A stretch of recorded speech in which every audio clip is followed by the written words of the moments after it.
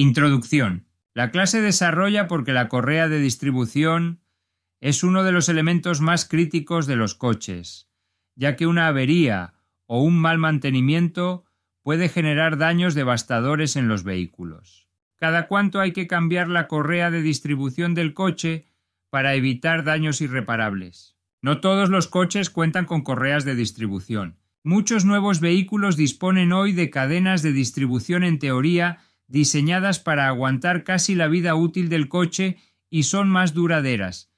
Pero hay vehículos que utilizan la correa de distribución, que puede resultar crítico para asegurar el buen funcionamiento del vehículo. Ambos sistemas, la correa de distribución y la cadena de distribución, tienen sus pros y contras.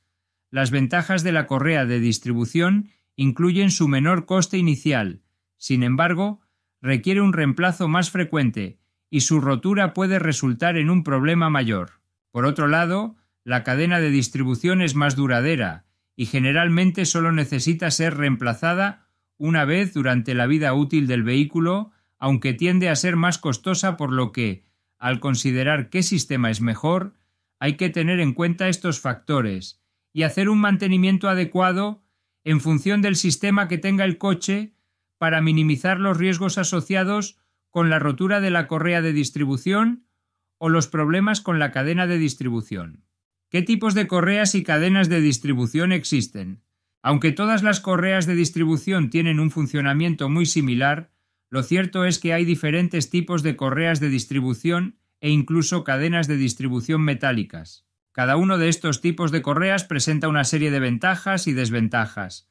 Aunque cada persona tiene sus gustos y preferencias específicas, a continuación revisaremos los tipos de correas de distribución que existen actualmente en el mercado.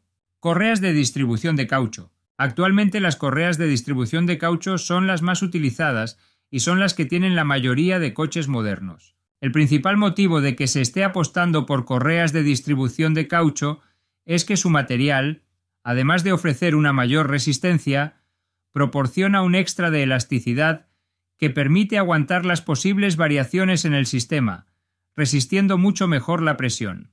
Correas de distribución de goma o nylon. Aunque son menos recomendables, las correas de distribución de goma o nylon comparten bastantes similitudes con las de caucho si hablamos de elasticidad, pero no son la mejor opción ya que aportan un menor índice de resistencia.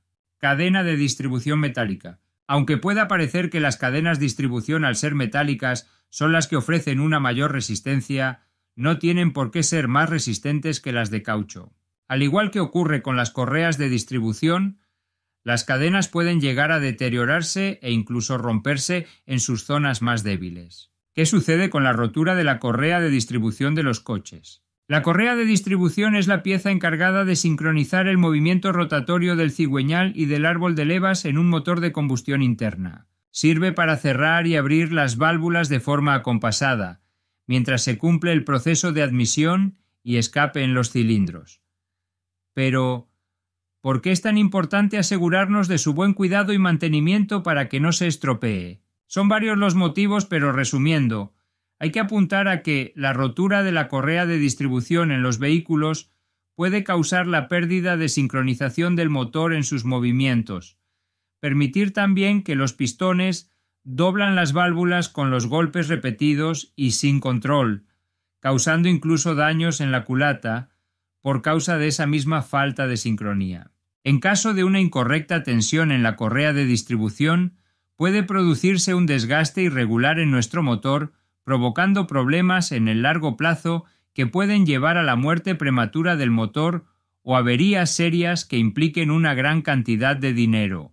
Cuando se rompe, el motor se detiene inmediatamente, lo que puede provocar un accidente si el vehículo está en movimiento. En definitiva, daños catastróficos para el coche, y de gran impacto económico en la reparación. Identifica así señales de desgaste o deterioro de la correa de distribución. Para evitar llegar a esta situación crítica, es fundamental saber identificar cualquier alarma respecto a un mal estado de la correa de distribución. Y es que hay señales que nos van a ir advirtiendo de su deterioro con anterioridad. Una de ellas puede ser visible ya nada más levantar el capó al verificar visualmente su estado. Conviene hacerlo periódicamente para comprobar que no presenta daños o desgaste a la vista, acudiendo inmediatamente a un taller si notas cualquier deterioro, como grietas o mellas en el dentado, además podemos comprobar la tensión para chequear que no haya holgura y así se produzca un desgaste desigual entre los diferentes componentes del motor. Otro síntoma de una correa de distribución en mal estado o funcionamiento suele advertirlo el propio coche ya en marcha. Movimientos o ruidos extraños y diferentes a los habituales pueden señalizar su deterioro, por lo que conviene estar alerta y consultar con mecánicos especialistas a la mínima sospecha. Las vibraciones también suelen ser señales de desgaste, al afectar a los pistones y las válvulas. También hay que prestar atención si al coche le cuesta arrancar, ya que es posible en estos casos que la correa esté próxima a la rotura y es un paso previo. Una vez rota, ya no arrancará el vehículo. Por último, la salida intensa de humo del escape puede ser otro síntoma de deterioro, al causar fallos en la ignición, ya que es la encargada de que los tiempos de combustión se cumplan de forma sincronizada. Conoce nuestros servicios de consultoría y formación en gestión de flotas. Reduce los costes y optimiza las actividades de gestión de la flota. Electrificamos tu flota de vehículos. Realizamos el plan de electrificación hasta su implementación. ¡Conócenos!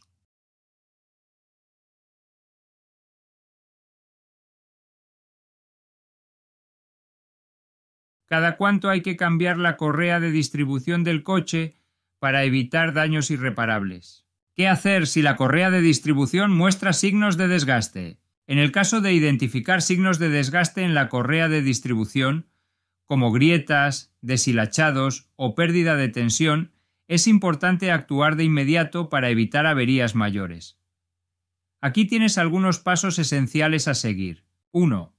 Evitar usar el vehículo innecesariamente.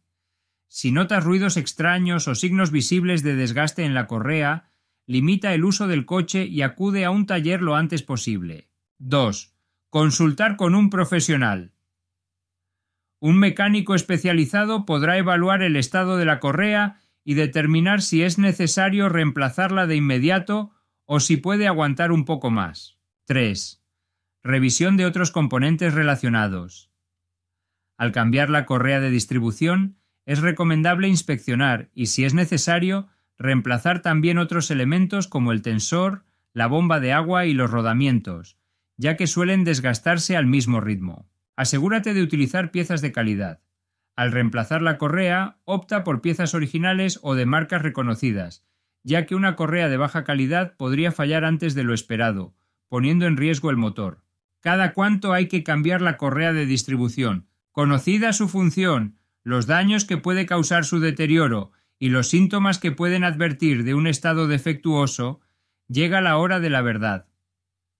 Cada cuánto hay que sustituir la correa de distribución para evitar averías críticas. Aunque de forma genérica podemos afirmar que la vida útil de una correa de distribución suele habitualmente oscilar entre los 60.000 y 160.000 kilómetros, a modo solo de referencia, la realidad también es que si no se alcanza este kilometraje en un número de años razonable, también se aconseja revisar la correa y proceder a sustituirla para evitar una rotura que afecte a otros elementos del motor.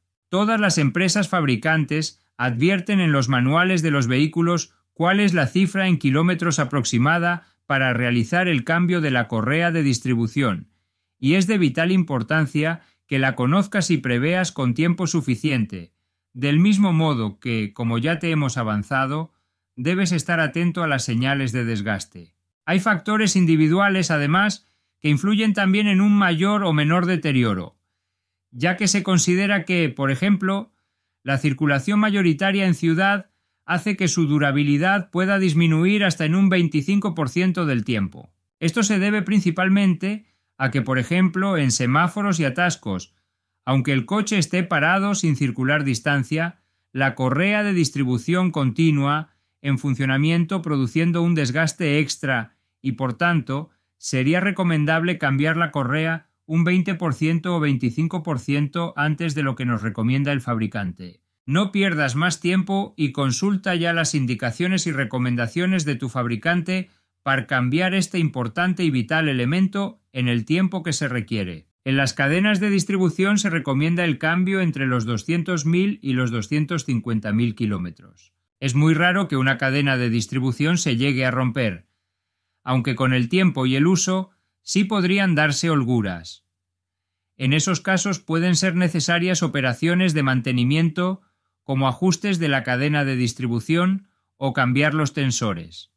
¿Cuánto cuesta cambiar la correa de distribución? El precio de un cambio de distribución en un SUV o en turismo dependerá en gran medida del taller y los materiales que hayamos decidido implementar, pero de media se estima que el precio medio de cambiar la correa de distribución suele rondar los 400 euros, aunque podemos encontrar opciones que parten desde los 350 euros. Aunque el precio de cambiar la correa de distribución puede parecer muy alto, debemos tener en cuenta que en caso de que se produzca alguna avería fruto del desgaste, el precio que podemos llegar a pagar por reparar el coche puede ascender a los mil euros o seis mil euros e incluso la muerte del coche.